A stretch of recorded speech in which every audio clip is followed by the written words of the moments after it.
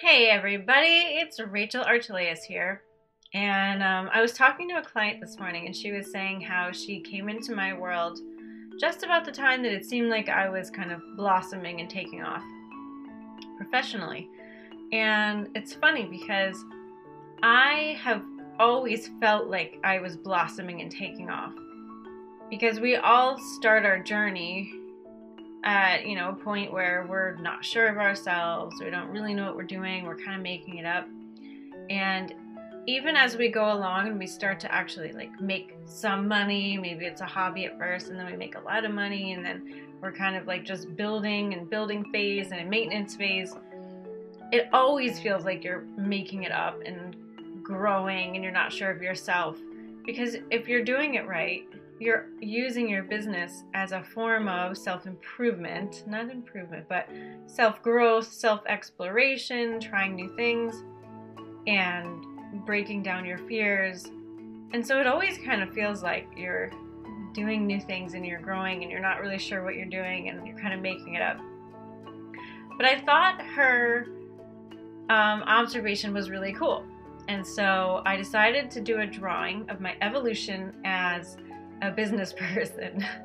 and um, it's very telling. It's very telling. And it, I think I understand more of what she means when she says that she found me right as I was blossoming. So, um, this is the kind of before, and this is like the after. This is the now, and this is the, you know, the past few years. So, let's start with the before. Now, you'll see that, first of all, they're really different. There are fewer colors over here. There's more of a pattern, more colors over here. There's more layers over here. And there's big chunks over here. So this is kind of a pattern, and this is kind of just like color blocking. And the one thing that ties them all together is this blue strand. Now, I haven't done an intuitive drawing reading for you guys in a long time, so I'll go over my colors again for you so that you can understand. All right. So the blue, this dark blue especially, is all about healing. It's about deep cellular healing, like across lifetimes, the good stuff, the deep stuff. And to me, being in business is what is pushing me to heal and grow and evolve. So that's perfect.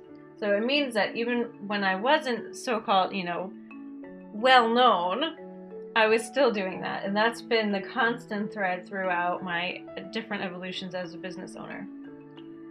Now, we'll start over here. This color to me, it's kind of goldenrod. It's yellow, but it's not this bright, clear yellow. It's kind of like brownish yellow. That to me is a color where it's like time sinking. It's I know how to be happy, but I'm choosing not to be. It's like when you eat a brownie instead of a banana, even though you know the banana will ultimately make you feel better, right? It's like choosing that immediate satisfaction over long term satisfaction. And of course, we all do that, right? How much are we on Facebook all day when we know we could be like writing a guest post, which is actually what I was doing earlier. Um, you know, how often do we check out TV shows or movies when we really could use our time meditating or, you know, boosting up our vibration? So there's no judgment in that. It's just I used to spend a lot more time doing these things of choosing not to be really happy when I could have been doing that and when I knew how to do that. Next, though, is the green, this deep green here. It's about creativity. And what I was doing is I was being creative, right? I was making art, I was planning workshops, I was being myself, I was, you know, doing things that were really creative and nurturing to my soul. But again, here, where this color is not over here, the orange is also not over here. And the orange is another big teller. Orange is mental color for me. And this meant I was thinking a lot. I was planning a lot. I was engaging in mental scenarios, what ifs, and oh my god, can I do this? Can I not do this? I was in here a lot. And that kind of wrapped itself around these other things and it kept out this big healing and this big creativity. So if you see the orange is kind of like a wrapper, that's what it was doing. It is connected to this pinkish red color, which for me is all about doing. It's about like inspired action. So there was some inspired action, but if you look at the difference between this and this, there's a lot more over here than there is over here, right? A lot more. And it's funny, I kind of blend in with this side now with my hair and my shirt. So that's pretty telling too. Um, and now there, you know, of course, there was some action, but it was heavily planned, it was heavily strategized within this thought bubble, this mental activity. And there was some more creativity, and then again, there was a lot of healing going on, a lot of healing throughout this whole business career. And now, so it's not a bad picture. It's definitely a productive, healing, wonderful, creative picture. It's just that there was so much mental activity and so much like kind of time wasting, not being efficient, effective.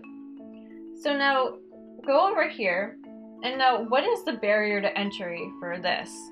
For this like, you know, joyous, inspired action creativeness it's all this healing stuff. So I had to literally heal all this crap before I could get to here. And what is that? It's like limiting beliefs, it is fear, it is stuff I didn't think I could do, which is a limiting belief. It's all these things I was afraid of, which is a fear. So, limiting beliefs and fear, right? I don't know if I could do that. I can't do that. You know, I can't make that much money. I can't talk to her. Who am I to like go and invite myself in there? Oh, it sound familiar? I know we all have this stuff in our heads, right? And little by little by little by little, I got through a lot of it, you know? I mean, now I'm speaking places and now I'm teaching classes that get sold out months in advance. And now I'm traveling and, you know, networking in LA and doing fun photo shoots. So, you know, it can be done. You just got to do it at your own pace, step by step, and not be afraid of the fear because the fear is just telling you that you have a limiting belief there. It doesn't mean it's real. Tangent. So back to this. So on the other side of overcoming all these fears and limitations is what? This is like the joy, the essence, the vibration of happiness, of abundance, of joy. So I am consciously being how I want to be, how I want to feel, what I want to have, I radiate, right? I, I put it all in my body. And I live by the uh, mantra it's not your circumstances that matter, it's your state of being that matters. And I got that from Bashar, and I love that because it's so true. It's not your circumstances that matter. It's your state of being that matters, and your state of being creates your circumstances. So, if you can just shut off the outside world, if it's not, it's not what you like, create that vibration within you of what it is that you want to see, then you've got it. You're golden. Okay? This inspired action, and see how this kind of like comes up you want to be what you want, and then you'll get the inspired action that it will take to actually get it in your physical world. And then the top is creativity, which is, you know, another color I'm wearing at the moment. Um, kind of what I love. You know, life is a creative thing, and I love creating, obviously.